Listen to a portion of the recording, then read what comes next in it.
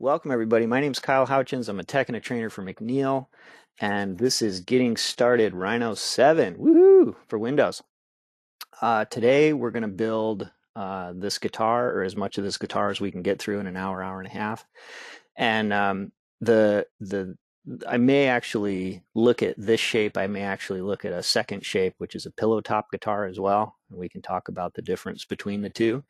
Um, and I want to talk about we're going to build most of this out of SubDs. I was mentioning that before, but um, we're going to build most of this out of SubDs, but we're also going to talk about where to use SubDs, where not to use SubDs, how to use some subd with the plan of, you know, converting to NURBS and then using NURBS tools later.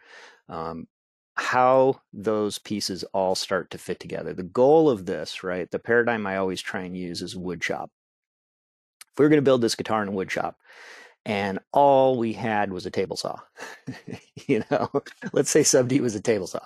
Um, it'd be an awesome table saw, but it's just, let's just say it's a table saw. You could only get, you know, you could only build, you know, so good of a guitar, right? It, it would probably not have these great forms and stuff like that on it. It would probably be more straight and all that kind of stuff. But if you've got a bandsaw and a sander and grinders and uh, chisels and drills and all sorts of stuff, right? You can you can build all of these various forms, right? Because table saws make great straight cuts, and grinders make nice smooth edges, and bandsaws make nice wiggly cuts and all that kind of stuff, right? So we want to think about Rhino as an entire shop full of tools and not get hung up on um, you know, I have to use subd for everything, right? I said I was I used to be the tech and the trainer for T splines. If you if you have been around that long, um, and when we put T splines out, I, I saw a um, a tendency of people to get hung up on sub D and say everything's got to be subd. No, no, no, no. use sub D for what it's good for. You know, use a screwdriver to put in screws. Don't use a hammer to put in screws.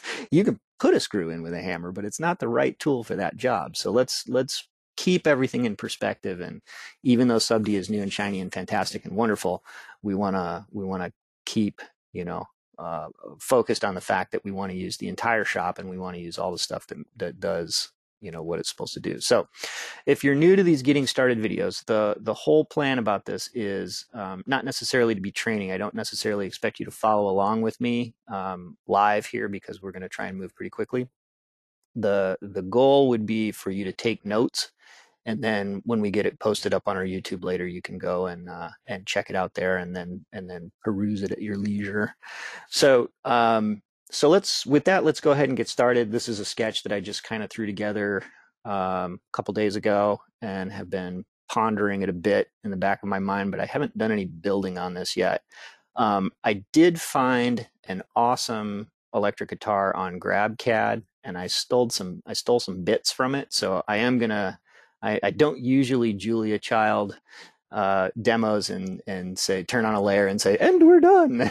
but in this case, I'm going to steal it, and I want to give credit to the designer who built this, a guy named Alex Alvarez, and this is his page here is grabcad.com slash Alexandra Alvarez hyphen two.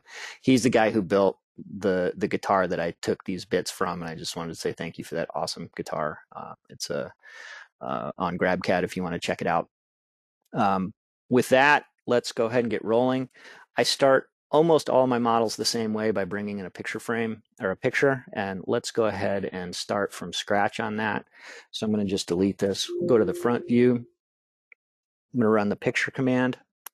That's how we get this rolling.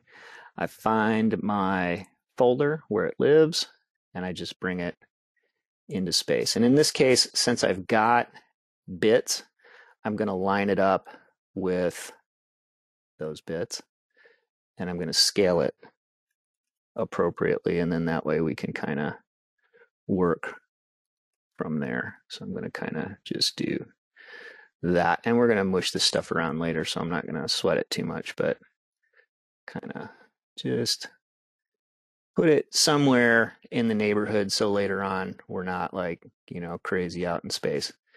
So I'm going to hide that stuff again. And then what I'm going to do is I'm actually going to take this and shove it back a little bit out of the model space. And the reason that I do that is um, I don't like this. I don't like when I build a part and it bisects the image like this. That's you know it's pretty difficult to try and work with.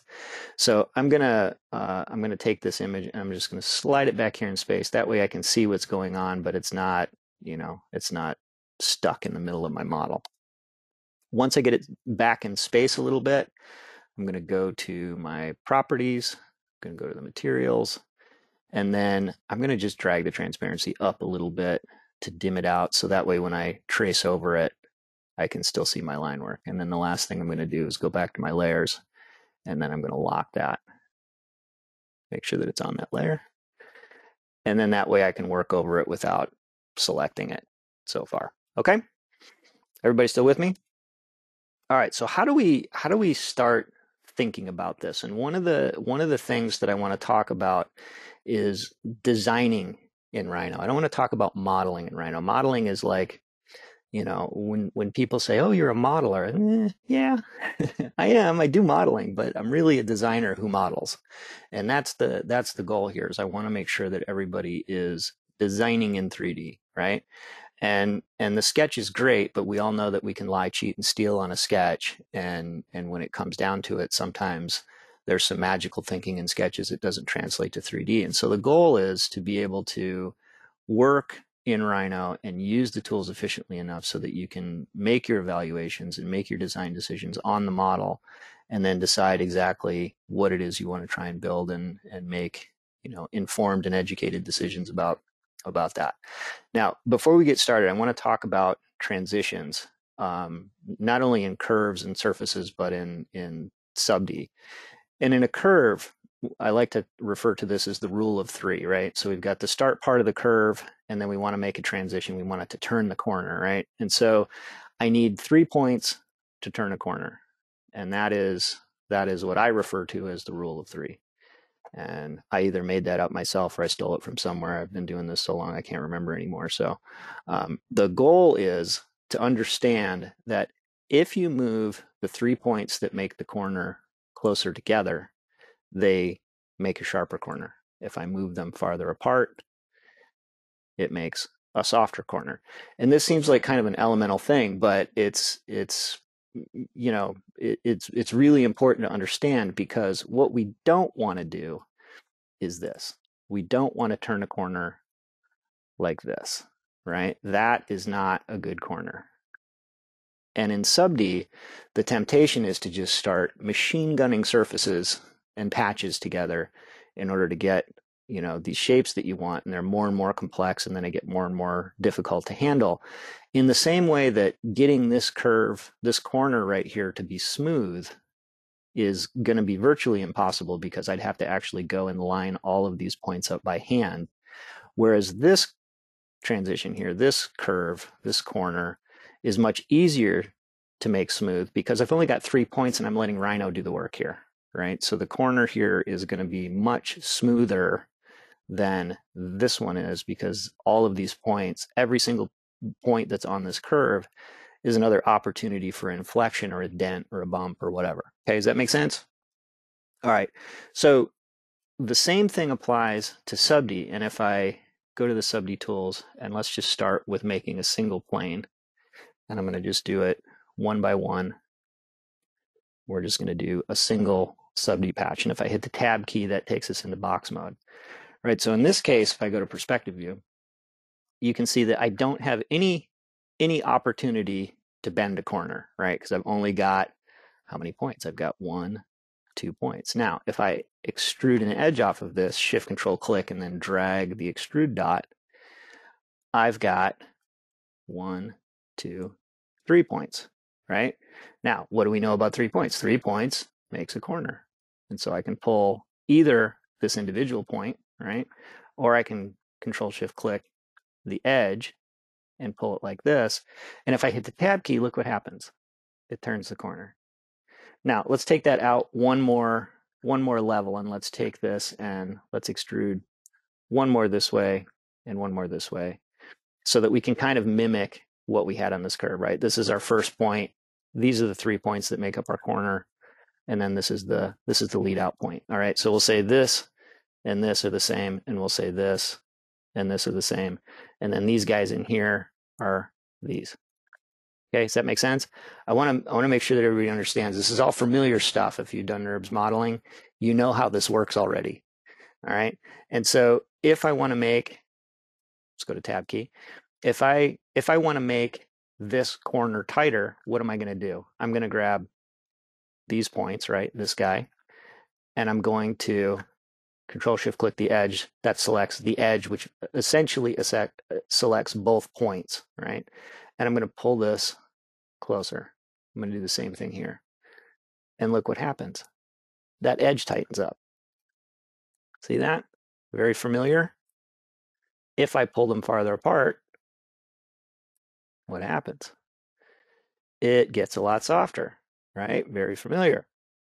So this rule of three is a very important thing to try and understand because it directly applies to sub D.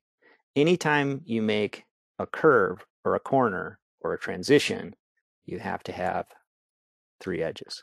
Okay.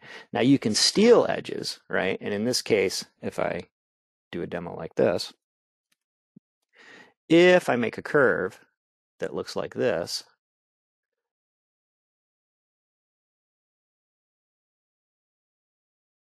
okay, you'd say, well, you're only placing one point in the corner. Well, that may be true, but if we look at it, this corner right here is made up of one, two, three points. This corner here is made up of one, two, three points. This one is made up of one, two, three. See that? So we can steal a point from another corner, but it's still three points that makes a transition. Now, just because I'm stealing, I'm stealing this point from this transition, right? This group, this one, two, three, I can steal that for this one. That's fine. Okay. And we can keep that same ideal in, in sub D. And if I were to make a sub D from this, I could copy this exact same point layout and you would get the exact same shape, right? If you place the points in the exact same place, you're going to get the exact same shape out of the sub D because it's placed that way. Okay. Now, if I have to isolate a corner, if I have to have a corner isolated, because what happens, look, if I if I take, if I want to modify this corner, one, two, three right here, and and that means I have to affect that one, that one, and that one, right? So if I take this and I say, okay, I want this corner to be sharper, that means I got to pull down here and I got to pull over here. Well, I made that corner sharper, but I also disturbed the points that make up the other parts of the of the line, right? So in order to isolate that, I need to have three points dedicated to each specific corner. And, um, and so what I'm going to do is I'm going to place a point and then I'm going to say one, two, three, right? That's its own corner. And then I'm going to come over here and I'm going to isolate it. And then one, two, three. And then I'm going to come up here and isolate it. One, two, three. All right. So let's look at the point structure on this. So now I can affect everything over here. Actually, I don't even need this point. Let's get rid of this one. I added an extra. So I can take this entire corner and I can do whatever I want with it and it doesn't affect this corner over here, right? I mean, it does, but not like, you know, violently. Okay.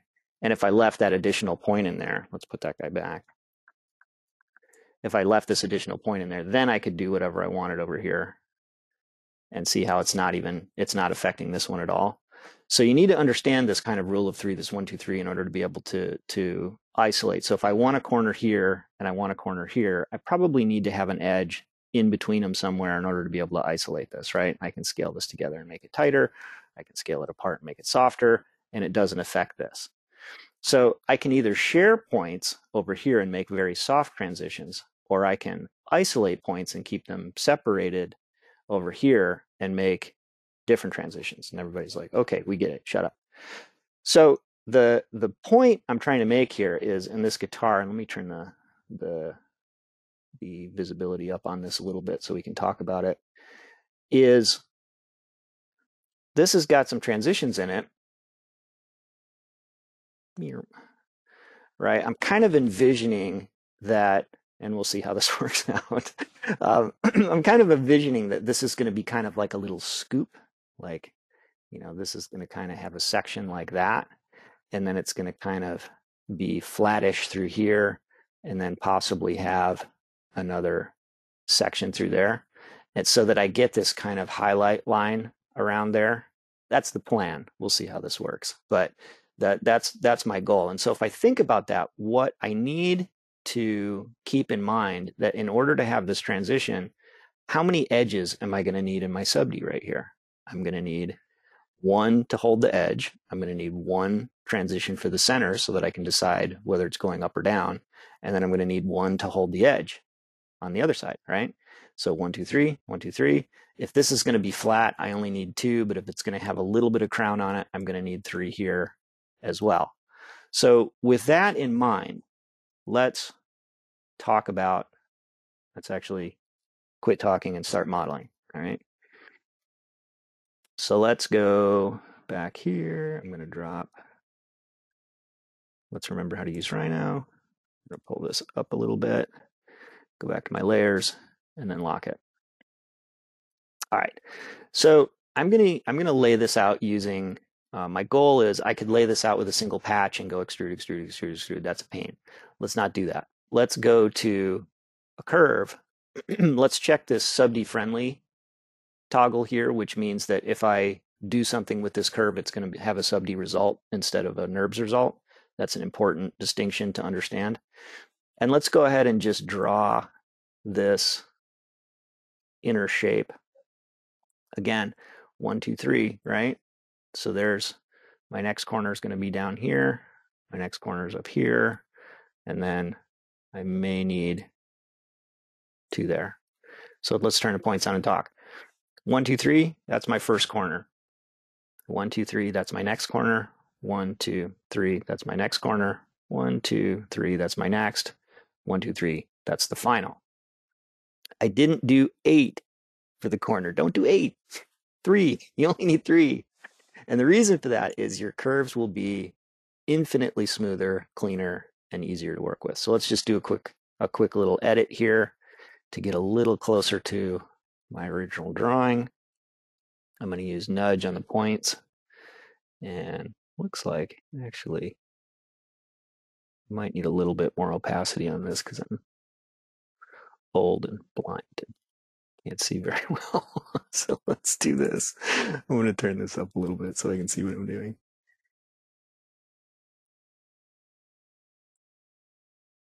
There we go. That I think I can make out. That's my. There we go. All right. So I was missing that by a mile. So let's pull this down here like this. And then let's pull this up here like that. And then I'm going to use nudge. And then the one thing I would say about using fewer points is you have to pull them farther to make them do more work. And that's fine. You want to do that, right? So we're going to call that good. I can also see like where Rhino's doing a much better job of generating the spline than my shaky coffee addled wrist did when I drew it. All right, so I feel pretty good about that as an internal curve. So I'm just going to hide my points by hitting the escape key. And then what I'm going to do to generate the curve for the outside, because basically I want to loft and make a patch between these two sections, I'm going to copy and paste this. And it doesn't that doesn't seem to make a whole lot of sense because the shape is is vastly different.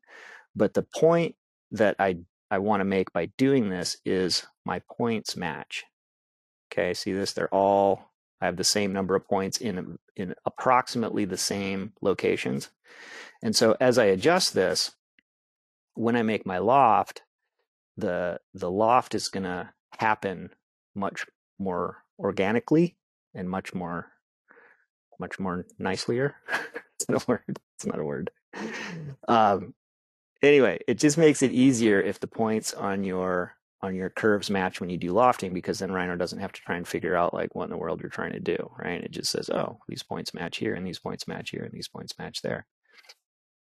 And it just does it a little bit easy instead of having to fight with it. All right. So, and the other thing too is it tends to be pretty easy to edit because family of shapes tend to kind of go together. And so if you copy one curve, it tends to be easier I don't know if you, in your art school they talked about family of shape, but in mine we spent a lot of time talking about family of shape. Tom Molyneux, where where are you? My design theory instructor when I was a sophomore a hundred years ago.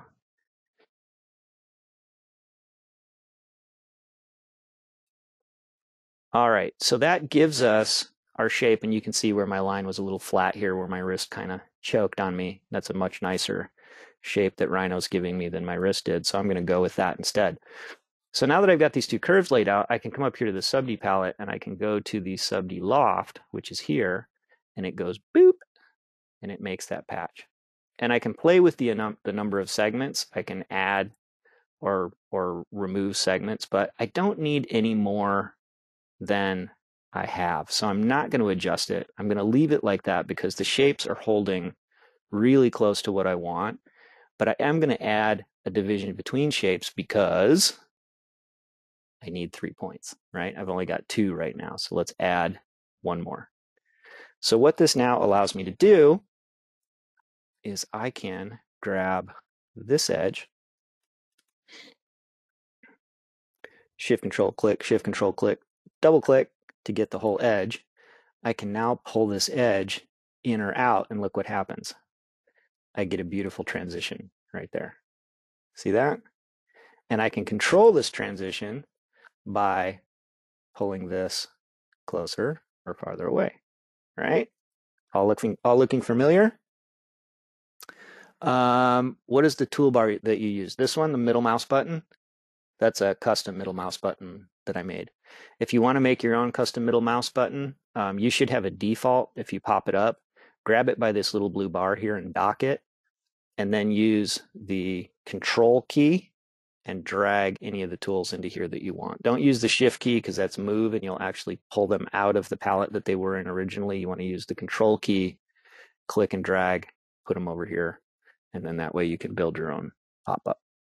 Okay, is that what you were looking for? Cool. All right, so this gives us the main body of the guitar, and we kind of missed the end here, and that's okay. We need to fill in kind of these shapes next.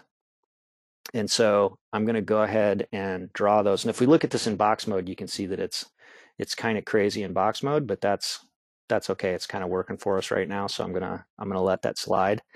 Um, we're going to talk about box mode and smooth mode uh, a lot going forward. Typically speaking, I like to say box mode is for modeling and smooth mode is for evaluating and tweaking.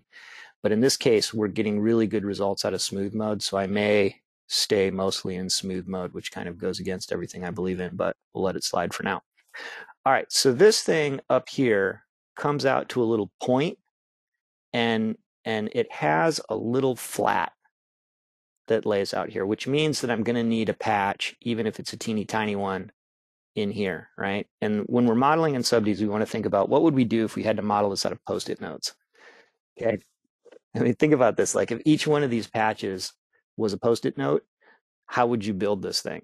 That's that's how you want to think about things in in subd. And so when you have a sketch, if you just lay this out like you would lay it out if you were to build it out of post-it notes, that's going to be pretty close to what your patch layout is. So let's go back to the curve. I'm going to, again, make sure that my sub D friendly is selected, and I'm going to go one, two, I'm going to pull down in here, three, and then I'm going to turn and come up here like this. And then let's edit to get our shape.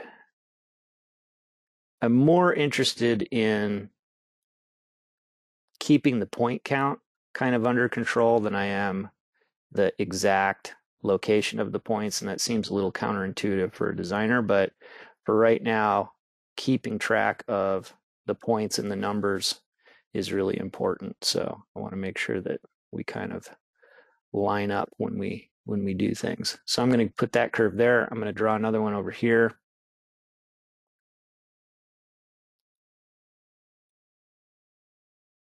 There's construction going on on my street right now. I apologize if you're hearing jackhammers in the background. I'm hoping my noise canceller is doing a good job filtering that out.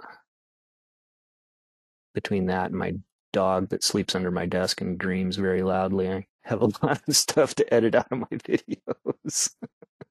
The Joys of working at home. All right.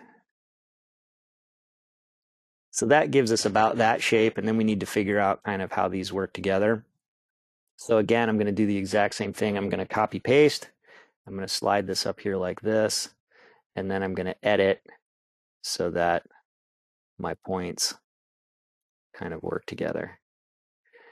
And that copy paste trick is really great because it just gives you uh, a relative assurance that your loft is going to be pretty easy to control.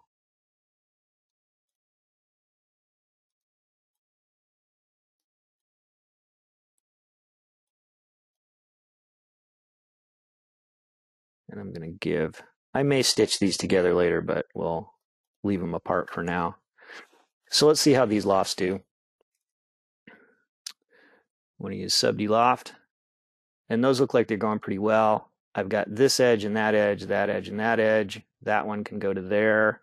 And then we'll figure out what to do in here in the middle, but I'm pretty happy with that. I am going to add a segment down the middle because I want to be able to adjust whether that cups in or out.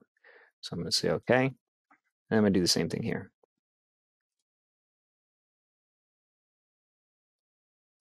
And then I'm going to shut off all my points and then turn just these on so I don't get lost.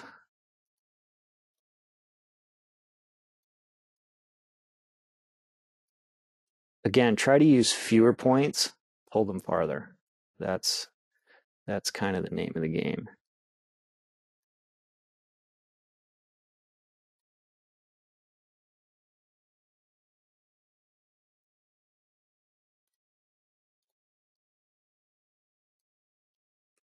All right, let's lock these.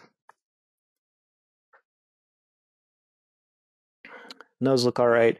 This edge probably needs to be a little farther out here. I may need to do a little bit of adjusting there. Let's see what happens if I add.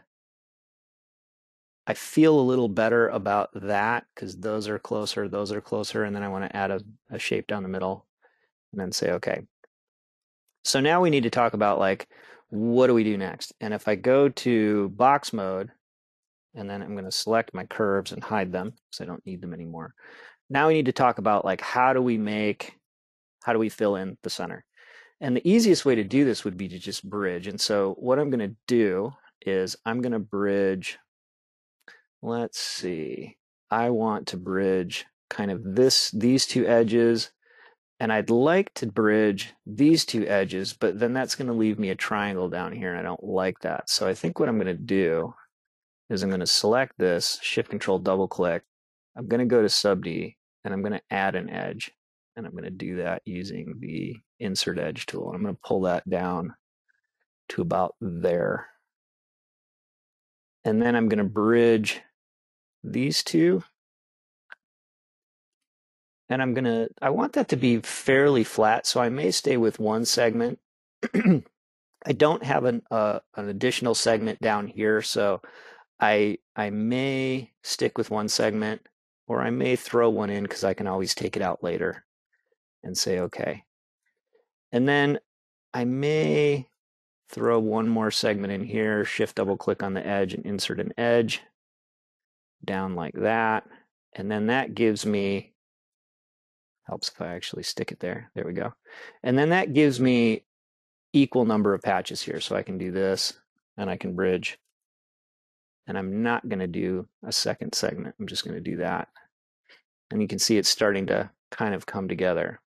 Now, in this case, I may want to pull this edge down a little bit so that I can get some room in here. And I may pull this edge in like that. And I may pull this one up a little bit. We're just arranging all these little all these little patches so that they are approximately where we want them to be. And you can see how we kind of like this goes to here. So maybe we want to pull this one.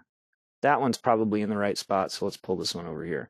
You'll get, as you get better at sub D, you'll start to be able to read this stuff and you'll be able to say, oh, okay, I know where all of this stuff goes, you know? And in this case, like this is going to go over here and this is going to go over here. That might be a little bit of a weird transition. We'll need to see.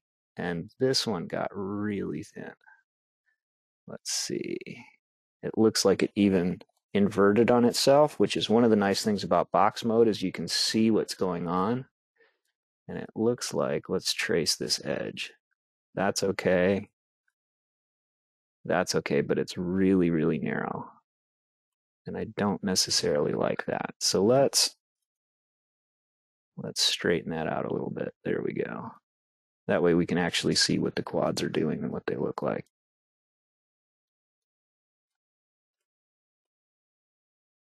Same thing over here.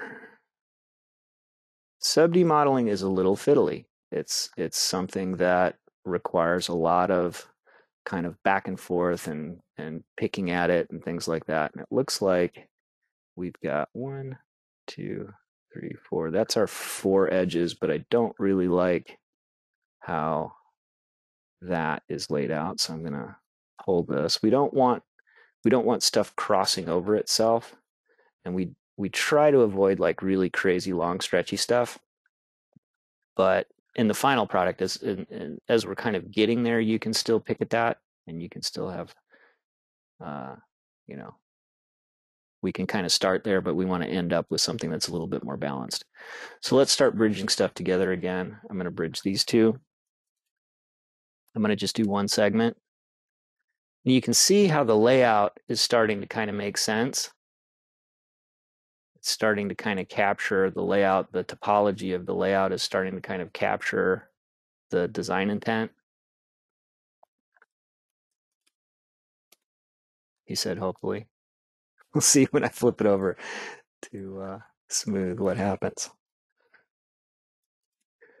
Bridge. These guys. And then I've got one, one, two, three. I can come that way and get four. And then, so I think that'll give me two quads. So I can bridge these two. We'll see how this works. Like that. All right, so if we go to smooth mode, we can see what our basic layout looks like. And you can see that edge that I added down here kind of tortured that shape a little bit. So now we've got some adjusting to do where we can start kind of pulling this around to get it back to what we wanted.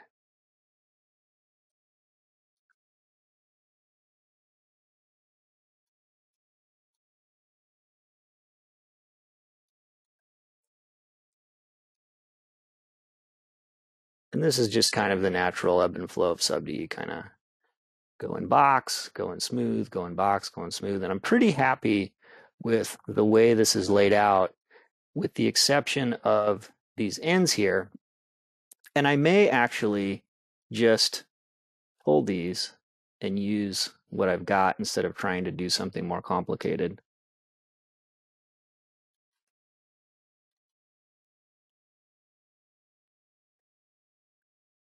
not terrible. Let's get it a little cleaner. Again, if we want softer corners, we pull the points farther apart. If we want sharper corners, we put them closer together. So I'm going to pull these guys a little farther apart.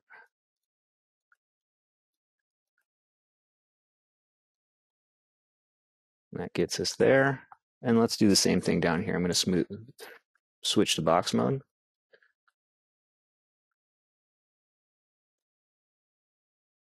Don't want to cross it. See that? How that's crossed like that? It's like Ghostbusters. You don't want to cross the streams.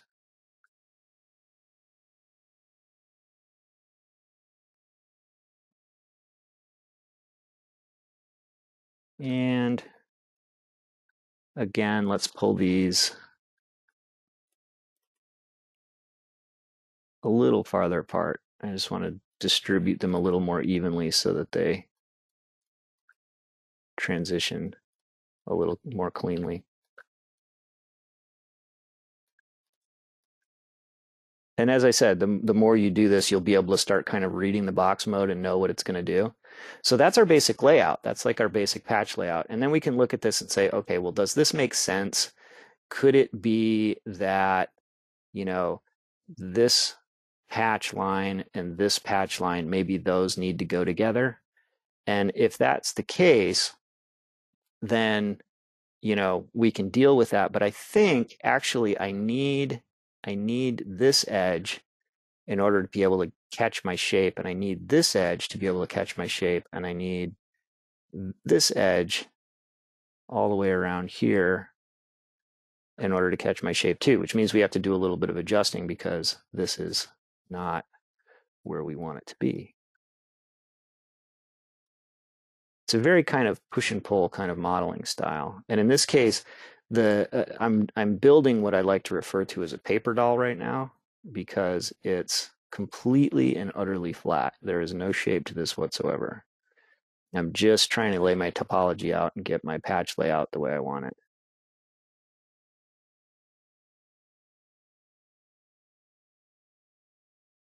And this seems like a tedious kind of thing to do, but it actually, once you get it laid out, the rest of the process goes really quickly.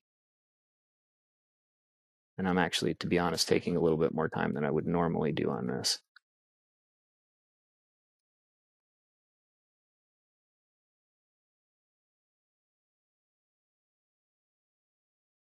All right, so let's see what we've got. So if we go to that shape here, then that gets us pretty much what we need to do. So let's go and let's grab everything from here to here. So I click the two ends and then double click the middle. And I'm going to pull, actually I'm going to do, actually I'm going to do the whole exterior. I'm going to do the whole exterior of this thing and I'm just going to pull it back. And you can see that we're starting to get some form already, like that. And then let's do this edge and we can determine whether that form is cupped like that or whether it's pronounced or whether it has a ridge or whatever I want to do. So I'm going to pull it back kind of like that because I kind of have this I kind of have this vision of this thing having this kind of cup shape all the way around like that. And maybe that's a little bit too much. And we can actually adjust it along the way and say, okay, well, maybe it doesn't have a cup shape here. And so maybe this is where your wrist lies. I'm not a guitar player, by the way, just in case anybody's wondering. I'm no, nowhere near that cool. Um, but I do think they have cool shapes and stuff on them. So, and maybe this has a really nice soft transition right there, but then it sharpens up over here like that.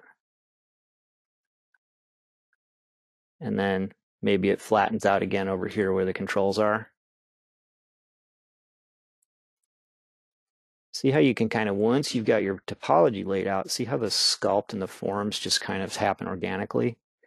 So now we can start evaluating highlights. And I love rendered mode for this because you can really see what the highlights look like. So if we do paint and do a nice Eddie Van Halen red, rest in peace. Thanks for high school. That was awesome. And then we can start looking at our highlights and say, what does it look like? And if we go over here to our display, we can shut off our sub-D wires and really take a look at what's going on here and I'm pretty happy with the shape there. That's that's actually kind of exactly what I was going for. Now I need to determine like what is going to happen here, like where the neck is going to be and all that kind of stuff. But I think that the neck, when it comes in here, is going to knock out most of this stuff. So I'm going to kind of ignore this for the time being because I can always come back and pull. I can always come back and pull these shapes up a little bit. You know, I can grab this edge and just go mm-hmm. like that if I want to. But I think I'm going to leave it like this for the time being. And then when the neck goes in, see what this transition looks like because I have everything I need, right? One, two, three, in order to either make it cup in or out or go up or down or whatever I want to do, depending on how I arrange those three elements together, I can decide, you know, kind of what it wants to do.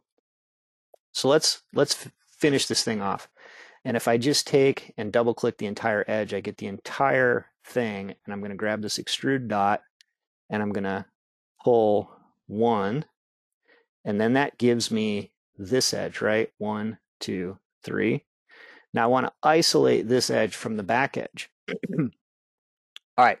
So uh, remember when we talked about the, the curve going back and forth and we wanted to isolate the corners from each other?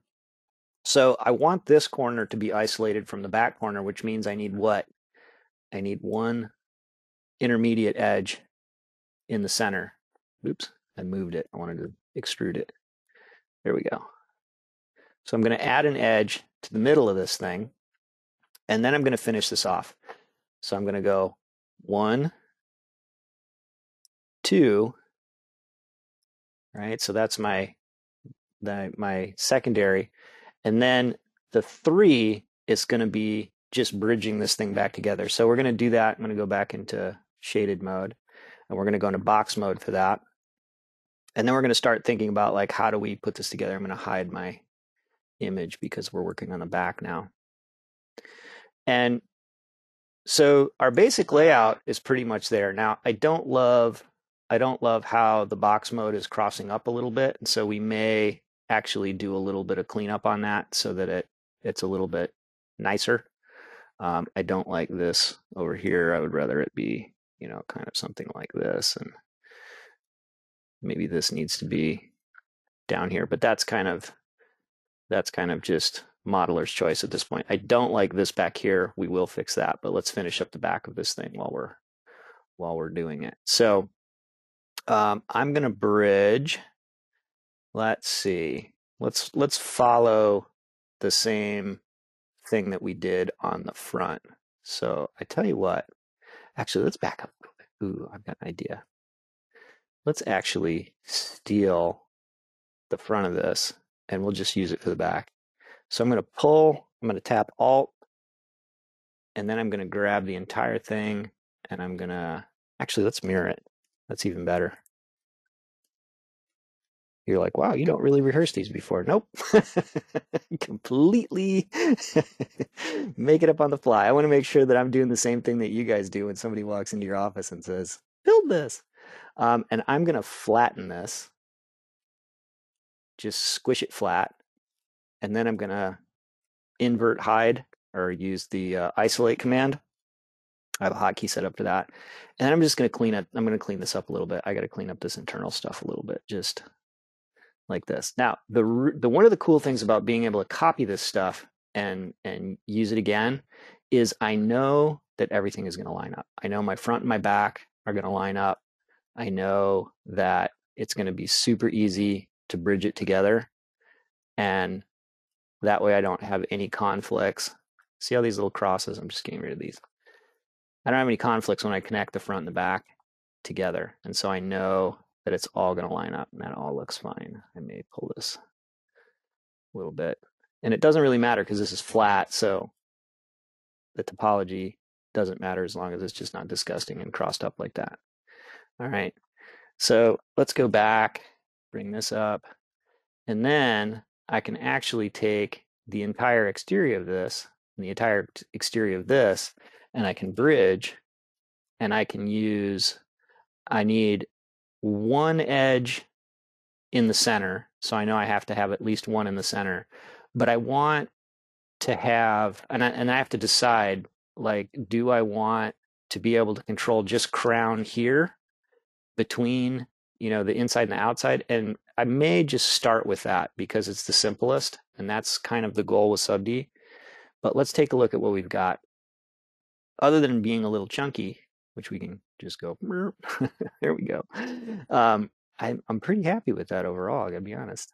That looks, I think that looks pretty cool.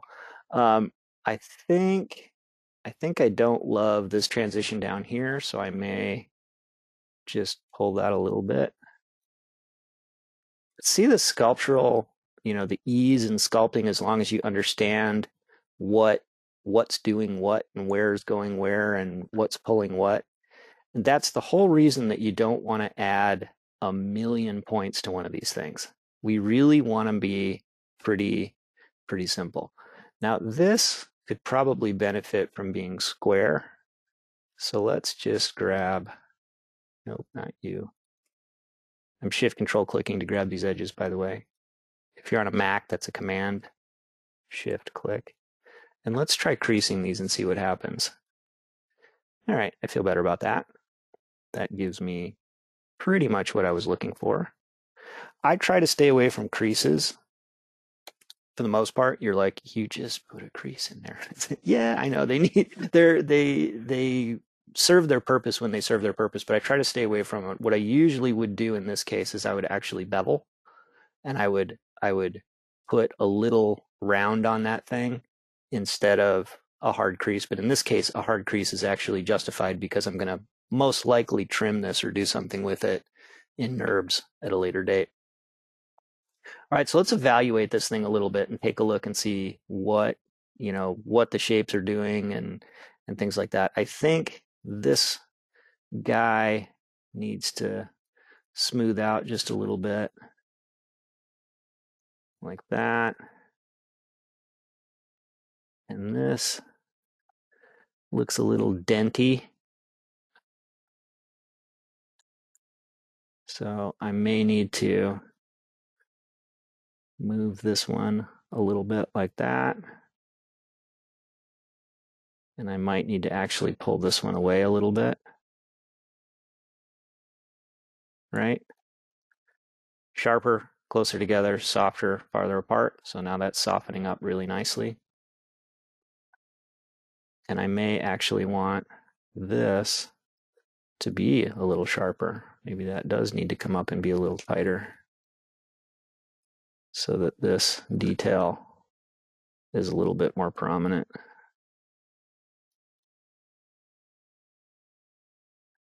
Maybe even this one. And I'm using these these uh, for lack of a better term, I like to call these little these transform waffles. that's not what they're called, but that's what I call them. And these allow it to only move in x in in z y space. Whereas if I roll around here, this one only allows it to go in xy space, and then this one only allows it to go in in I guess xy space in this plane.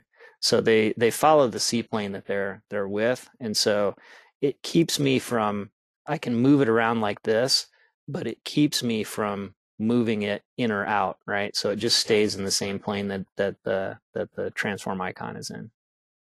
I guess that's a better term for it, is a transform icon. And I'm not in love with that, so I'm just going to keep noodling that just a little bit. Maybe that fades out towards the end. But it's fun. You can sit there and sculpt this stuff and just say, ooh, these are shapes that I wasn't able to make before you know if this edge is not sharp enough what I can do is I can add an edge in here. See how that thing sharpens up? Because now I've got see where my one two three is? One two three down here. Instead of being all the way over here it's up here.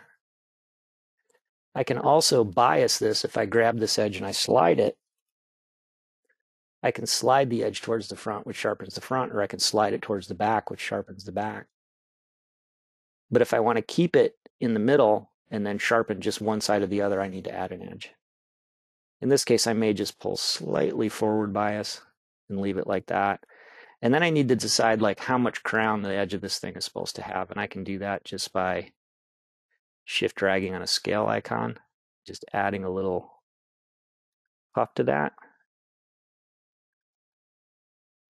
or I can do it selectively by just pulling up in an individual area. I think I kind of want this backside to be really nice and soft.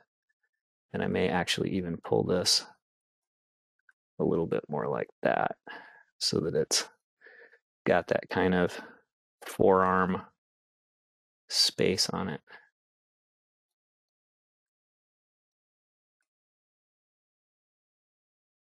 Kind of seeing how this works now. It's starting to make sense. And then we can go into box mode and we can see, okay, now what's really going on. And we may want to just clean up a little bit of this stuff. See how these, this is crossing over each other? That's usually not a great idea. So let's pull this down. Let's pull this out a little bit. It's much easier to kind of keep track of in box mode. So that's why I say modeling gets done here and editing gets done elsewhere. you'll get to the point again where you just you'll just be able to start reading this. See with this big jag in here? I don't like that. That's not cool. So let's do something like this and get this to flow better. How are we doing for time? 950, about an hour in. All right. So I think I think that's probably about enough picking at the at the guitar body. See what I did there?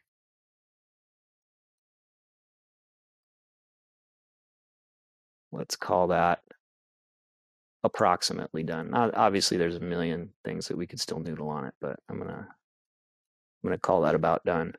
Let's just take a look at the front, see what we've got, make sure that we don't have anything crazy going on. I think this should probably flow better with that.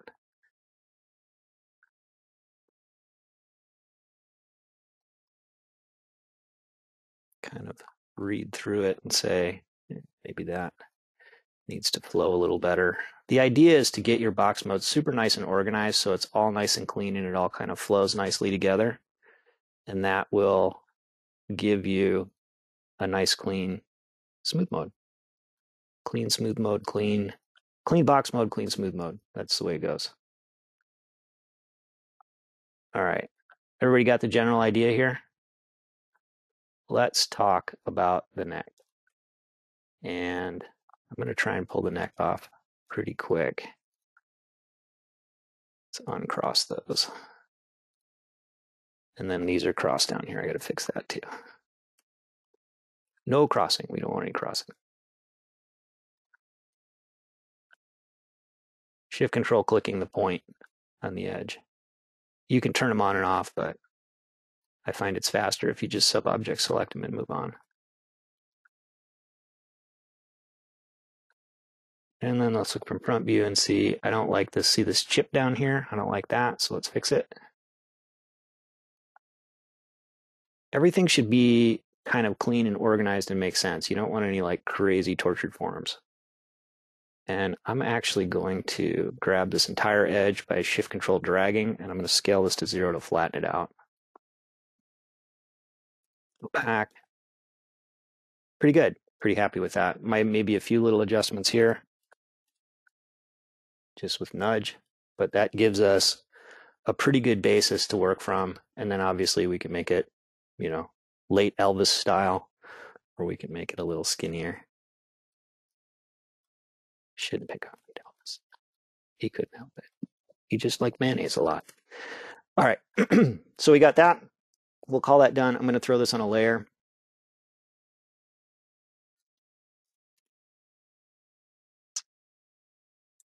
and then I'm going to lock it for now. And then let's lay out the neck. Actually, I'm going to hide it for now. And let's lay out the neck. And the neck kind of comes through here. And I'm going to do this with a, um, I'm going to start with a curve. I'm going to make it degree one for now because I want it to be a straight line. And see how it switched to sub-D friendly no? That's because sub-D friendly curves have to have more more than two points. But I'm going to start with just a straight line for now. And then I'm going to do another straight line down here. And then what I'm going to do is rebuild these because they're set up right. And I let's and I'm going to say I need maybe let's call it like for now let's call it like 5. And we're going to change the degree it's going to automatically change to 3 because I've got sub D friendly check down here and say okay. Now the cool thing about that is they're still straight lines. I used, I let Rhino pick where the points are going to be. So now if I loft these, sub D loft, whoops, nope.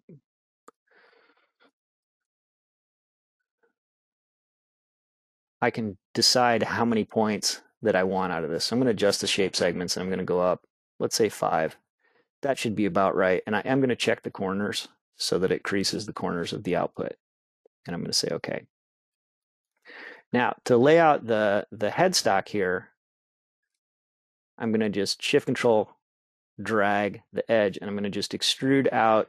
Now, we've got a corner here, right? So I need one, two, three to make a corner. I've got another corner up here, so I need steal that one, two, three.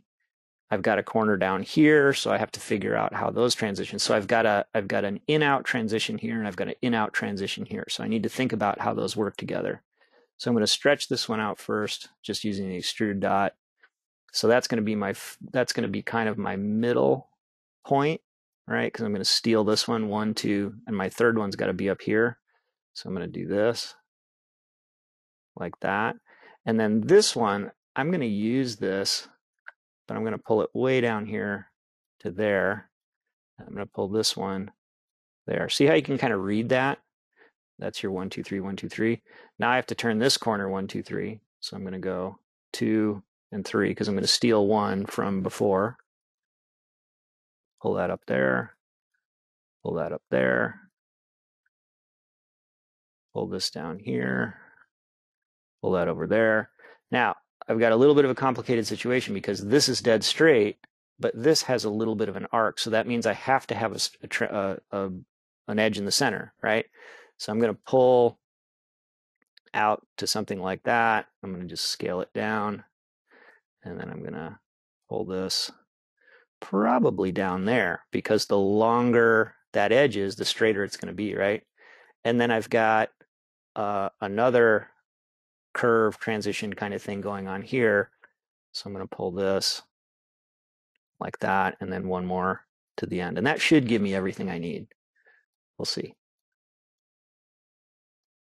I've never built one of these before, so I'm making this up as I go along.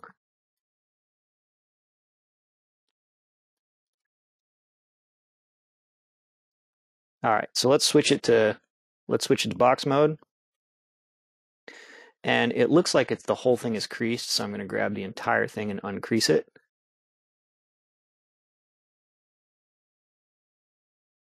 Uncrease it.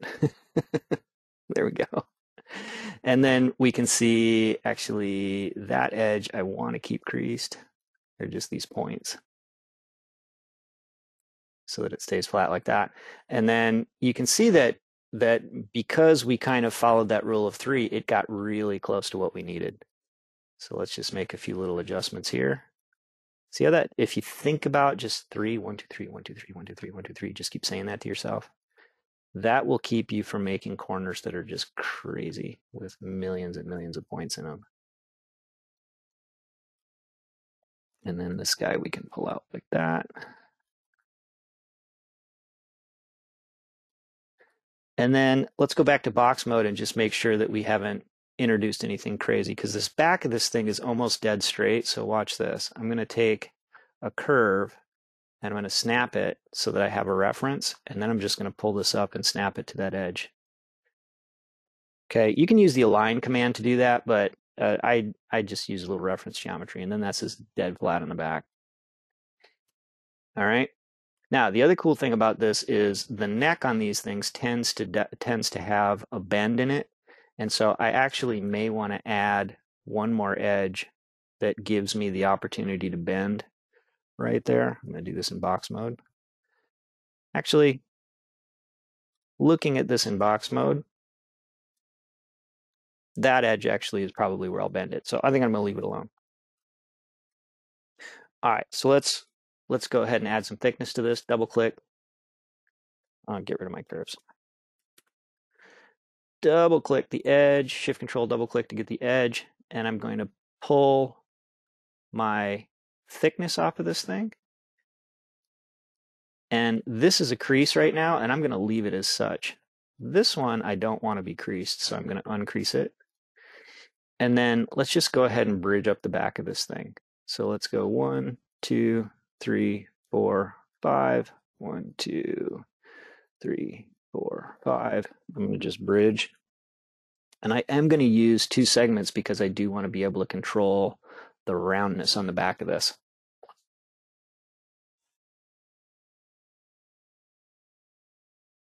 Let's see, question here. Brand new to CAD don't, and Rhino specifically don't have experience to understand sub-D in context, context, context of comparing it to NURBS or other shape surfaces. Do you have any general advice on what's better to use sub-D, when it's better to use sub-D and when it's better to use NURBS? Is it a shapes issue? Is it dependent on what you're going to ultimately do in the model, like draw up blueprints in case of a boat, send a 3D printer, etc.? Um, NURBS and sub-D are 100% compatible. So think of think of SUBD as a sculpting tool and think of NURBS as a as more of a precision tool. And we'll talk about as we go forward. I need to speed up a little bit to cover everything that I want to cover here, but um, we'll think about uh, SUBD as being the thing that we use to handle all of the sculptural bits, and we'll think about NURBS when we need to get precise and start adding, you know, very mechanical shapes and things like that. Now you can sculpt in in NURBS, and if you go back to any of the videos I've done over the last seven years, you can see that, you know, we can certainly add sculptural elements and NURBS, but SUBD just makes it so much easier. So let's bridge the back of this up and close it up. I'm going to pick probably that, and that should be one, two, three, four, five, six edges. So I'm going to go one, two, three, four, five, six edges there, if I counted correctly. And then I'm going to bridge this edge and this edge. And then you can see that there is uh, there's a hole at the end of this thing because I don't have I don't have uh, uh, an edge down the center here. So I have a choice to make. I can either get rid of this edge and leave that as an n-gon, which is a which is a five-sided object. And in order to get that to close up, I'll actually delete it and then use the fill command.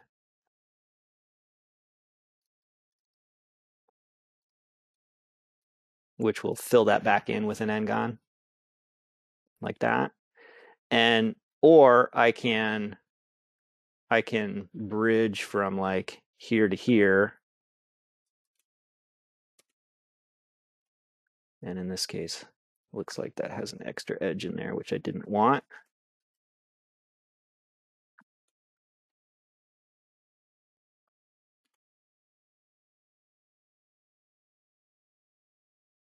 and then I have to just decide how I'm going to handle this three-sided this three three-sided object whether I stitch this all together I can stitch these two together.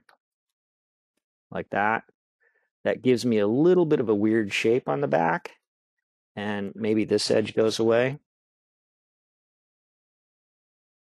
and then I've got kind of a weird I've got a weird hanging edge down there so maybe I need to think about Maybe I have a triangle that comes across like this, where I connect this one to this one. I'm okay with that. I think that'll work out all right. If I need to, I can always add an, a secondary edge right here. I could take this edge and do this and make that into a quad. That works okay. So let's adjust this a little bit.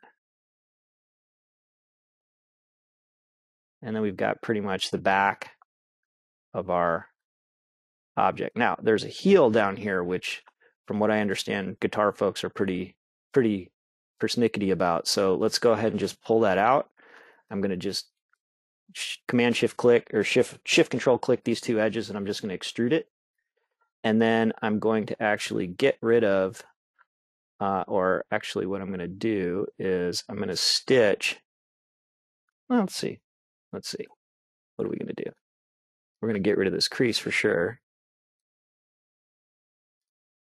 Ah, so this edge right here, because we don't have a center line down here, we've got an orphan kind of right here. So let's go ahead and add an edge on this. Why not? Let's do that. So I'm going to just start here and I'm going to just go right down the middle of this thing.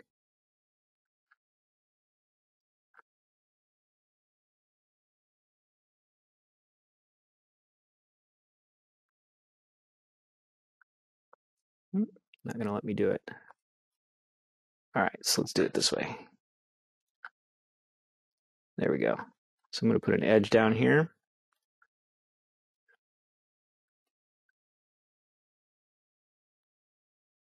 That, that actually is going to help with this issue we had on the back side. I'm going to attach that there, get rid of this one, and get rid of this one because I didn't like it in the first place. Nothing personal, but. And then that I'm going to get rid of. And then we're going to bridge these two edges and these two edges. And then that way we've got a much more cohesive piece here. And I'm going to crease this edge because I want that to stay sharp. There we go. So that gives us our, our kind of our heel shape, right? And we can adjust the heel shape by pulling this either in or out so it can be softer or flatter, right? So it can either be a rounder shape or it can be a flatter shape. Super adjustable. And then the back of this thing, we can decide whether this shape here, you know, how gradual that tapers in or out. And I think maybe we'll kind of do something like that. And I'm sure there's a gu- guitar player in the in the audience that's like cringing right now, going, "Oh my god, that's not the way that that thing's supposed to be shaped." Well, okay, I'm not a guitar player. Build your own and then show me how to do it. That'd be awesome. I would love to see it. Probably would want to see some sort of creasing on this edge here so that the back of this thing is flat, I'm assuming.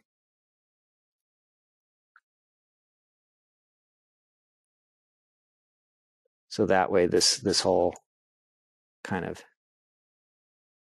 headstock is flat. And you can see how that just kind of fades out right there. And we could we could bevel this and triangle it off, which might be a more interesting way of doing this.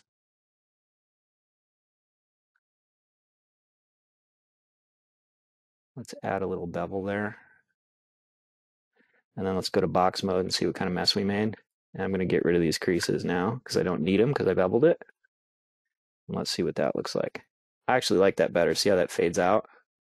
And we can control the fade by how many edges we delete. So depending on where that triangle happens, it basically controls how that fades in or out. You like that? All right, so let's go to box mode. This is going to be the, the edge that we're going to bend around because the top of this thing definitely has a bend on it. So I'm going to select all of this and I'm going to just rotate like that. And the cool thing about this is say say you save this thing flat, right? Say that you're a custom guitar builder and you build one neck. All right? Now that you have this neck built, you can do anything you want with it. If you want the heel to be sharper, you can pull that there. If you want it to be softer, you can pull that there. If you want it to be in farther like that, you can do that. It's all set up for you to do whatever you want, however you want, and and manage these transitions however you want. Do you want a neck that bends like this? You can do it, right? So you'd save this thing out as a piece and then depending on your on your um, application, you would bring it back in and then and then do whatever you want with it. So let's bring our guitar body back and see how these two fit together. And in this case, the body is probably needs to be more like this. Anybody who's ever built one of these things out of wood is going, oh my God, that was easy. and now we have to decide like, okay, how do these two things fit together? And in this case, we can take this and I can just push it a little bit. And then I might want to get rid of this crease now, or maybe just, I don't know. Maybe it's a matter of I need to pull the heel out a little bit like that. And then I want this part of the heel to be right like that. And then we can start adjusting these guys to work together. Oops, not that.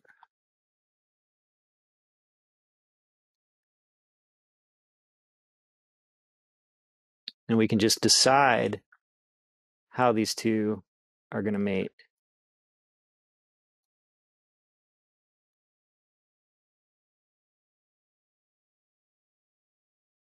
And this is a situation that if you were building this thing for real, you would probably CNC this thing out and then you would probably hand finish this, right? But if you didn't want to, you could always just pull this down and manage that transition like that.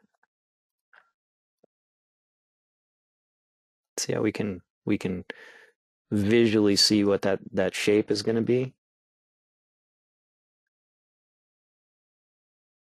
I kind of digging that. I don't know about you guys, but all right, let's pull this up.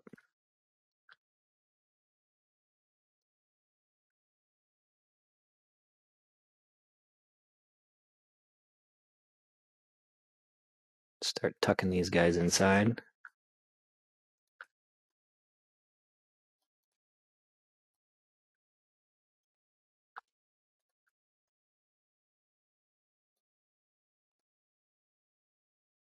And I have no idea what I'm doing as far as like, is this, is this, you know, actually anatomically correct for guitar or whatever. I'm just, I'm just a demo guy.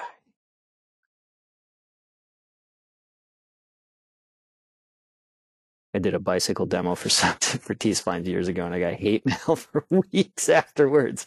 That's not how a bicycle frame is built. Same thing with sunglasses. Sunglasses people are very serious. They were very upset at my sunglasses demo. I was like, well, I guess.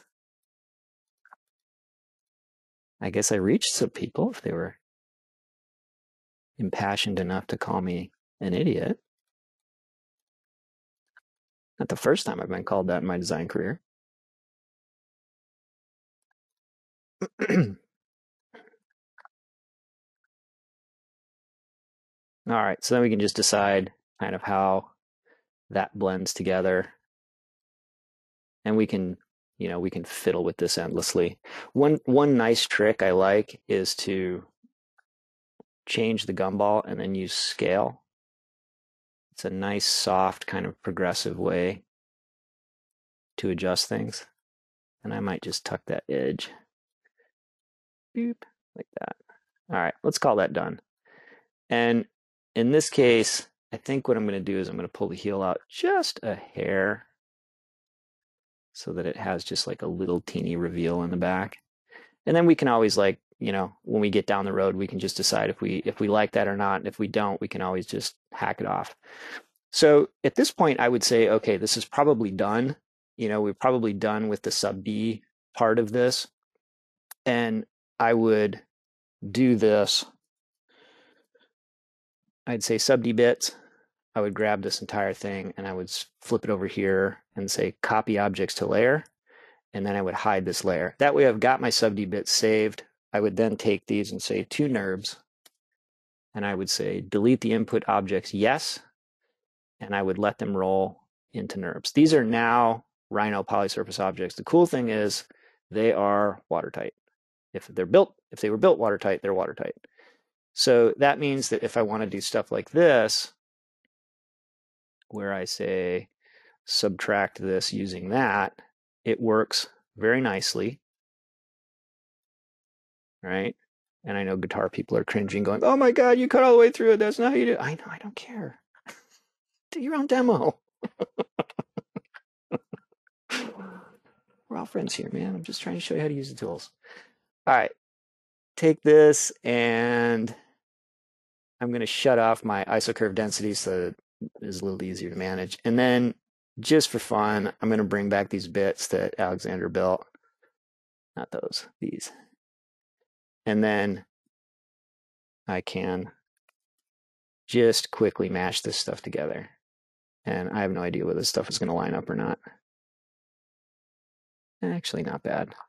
I should have done, I should have bent the neck first, so let's do this. See, this is why we keep the sub D bits when we do something dumb. Neat, neat, neat. Lay that right there. And then,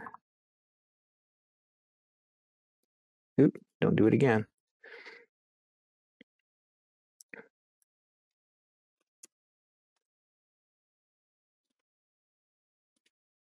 rotate this. There we go.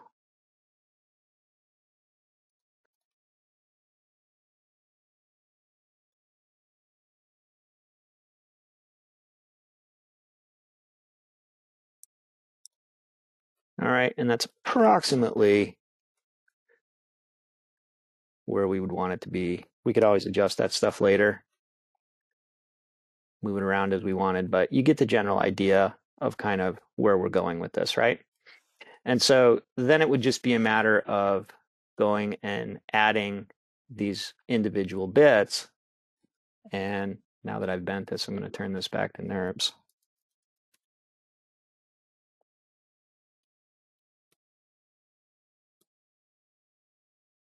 And I'm going to hide my ISO curves.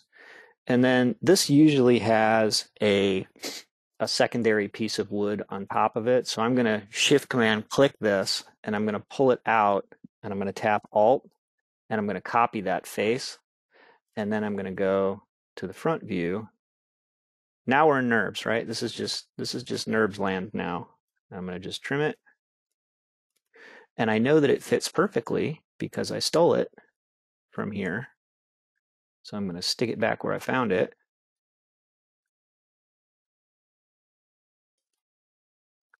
Relocate the gumball and then stick it right there. And then I'm going to just extrude it. And that gives me my second piece that all this stuff starts to fit on. Then I can start putting together my you know, I could start putting together my rendering, so to speak. If I come in here to rendered view, then I can start saying, okay, well, this is red and this is maple and this is whatever that is. And then I can start, you know, assembling this thing into something that really starts to look like a guitar really pretty quickly. All right. And I think at an hour 18, I think I'm probably going to call it here and say that you guys pretty much get the gist of what's going on here. But if there's any questions or there's anything that you saw that was like really baffling, I'm more than happy to um, answer any questions if you have any questions. And while we're answering questions, I'll just keep picking at it.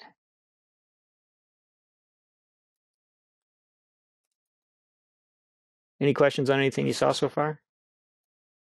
Anything that didn't make sense or you want to see again?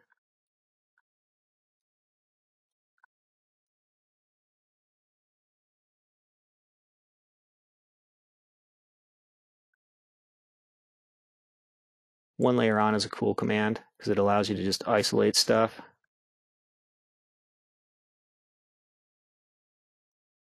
Unfortunately, there's not a all layers back on. I wish there was. there's a one layer off, but there's not a, okay, now turn everything back on.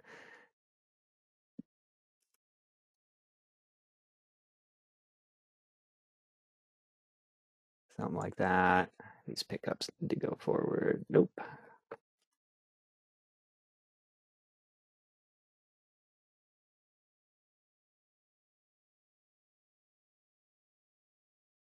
This is a super detailed model, by the way. If you grab this thing from GrabCAD, it's actually kind of fun to play with because it's really, really super detailed. He even had like the wiring and stuff in it, which was kind of cool.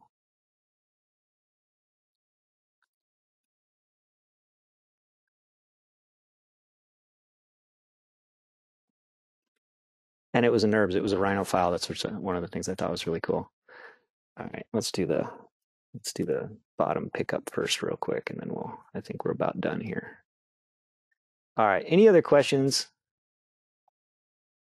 Anything that you saw that didn't make sense that you want to see again or anything like that? I think this is going to get us close enough for what we need to do today. All right, if I do this and say, woo, look how great it looks. Isn't it great? Don't look too closely. but in an hour and 20 minutes, we modeled this whole thing, right? And that's his original neck. Nope, this is his neck. Sorry. That's the neck that he built. That's the neck that we built.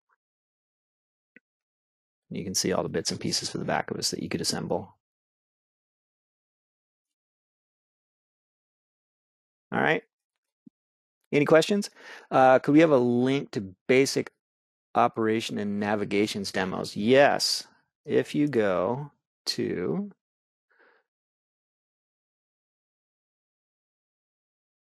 rhino3d.com, learn, There is interface basics. There's a really simple modeling a water bottle, modeling a glass, which gets you talking about rendering.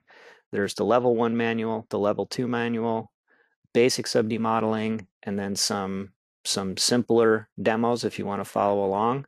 And then as you get uh, as you get some confidence built up, you'll want to switch over and go straight to the YouTube video YouTube channel, which is where all the stuff is going to get placed, and then look at the Getting Started Rhino for Windows. The full playlist has you know all these demos that we've done over the years. It gives all sorts of projects that you can work through, from really simple stuff up to you know much more complicated things um, that uh, that you should be able to jump into. So. Uh, is it possible to rotate view around object after deselecting them? Um, yeah, absolutely. If I'm understanding this correctly, there's nothing selected right now and we can rotate around it. Is that what I'm, I may be misunderstanding your question. Um, in Revit, is it, uh, in Revit, it's helpful, but in Rhino, I have to keep objects selected. No, it, I think there's a, there's a preference here. I think what you're, what you're looking for is um, where is that? Might be modeling aids. Um, where is that?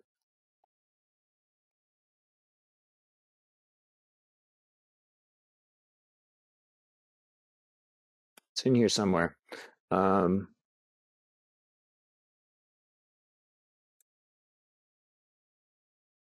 Ah, I'll find it somewhere.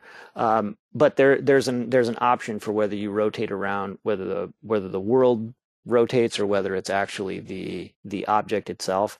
Um, it might be in Gumball. Hang on. General modeling aids.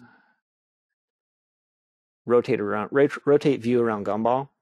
Um, so if I pick this, see how it rotates around the gumball. If it's not picked, it remembers kind of what the last location was. And so I tend to I tend to use Gumball as a rotational anchor, so to speak. And then when you shut it off, the whole model kind of rotates. Is that what you're is that what you're referring to? Um, I think if you move the the object from zero zero zero and try rotating, you'll see my problem. Yeah, okay. Um, I would rotate it just around Gumball and then um, it should.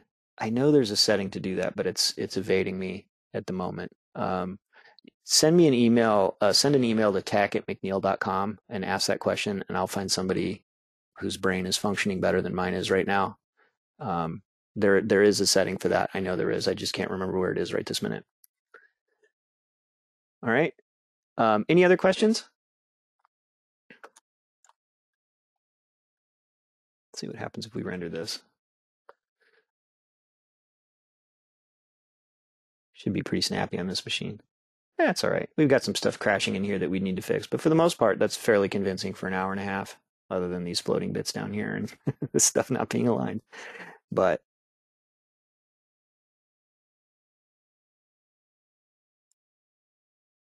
okay. Any other questions? Can we see the video? Um, yes, that'll be on uh, that'll be on our YouTube channel. I'm going to put it together right after we finish up and it'll get posted in this Getting Started Rhino for Windows playlist, which I will put the link in the chat. Um, give me an hour or two to get it. I don't think we have too much editing to do other than me clearing my throat and and uh, stuff like that. But um, I should be able to get it edited and put up pretty quick. So hopefully by the end of the day, I'll have it up here. Any other questions?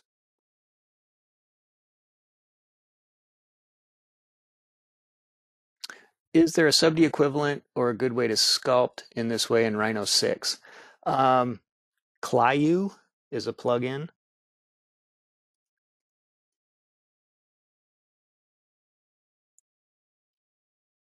That's a,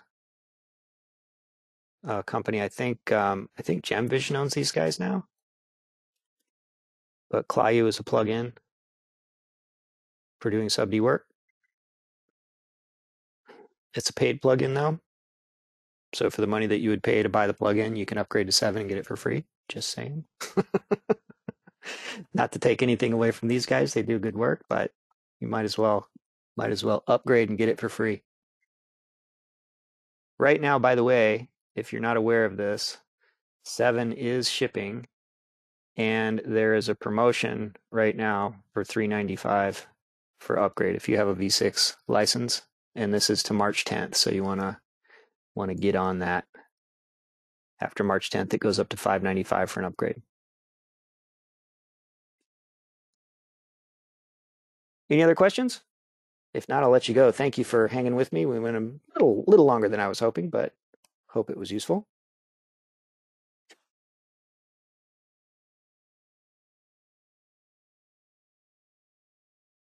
Awesome. Good. Well, I'm glad you enjoyed it. Thank you for coming. It always makes it more fun when people show up. It's a lot more fun than talking to myself in a room and feel like there is somebody actually out there listening, which is nice. Um, and uh, if you have any suggestions for stuff you want to see in the future, go ahead and and uh, and send them to tech at mcneel.com and you can make it attention to me. My name's Kyle, K-Y-L-E. I'm the only one. I'm the only Kyle in the company, so it's easy to find me. Awesome. All right, everybody. Thanks you very much. I'm Kyle Houchens. This is Getting Started Rhino for Windows, Sub D Guitar. Enjoy, be safe, go make great stuff. Thanks, everybody.